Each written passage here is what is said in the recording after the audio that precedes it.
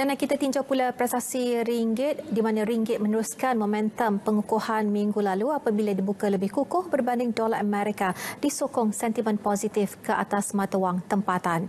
Pada jam 12.30 hari tadi ringgit diniagakan pada 4.112 berbanding dolar Amerika. Berbanding dolar Singapura pula ringgit disebut pada 3.0468 dan berada pada 3.7666 berbanding yen. Ringgit diniagakan pada 5.3929 berbanding pound sterling dan disebut pada 4.6046 berbanding euro.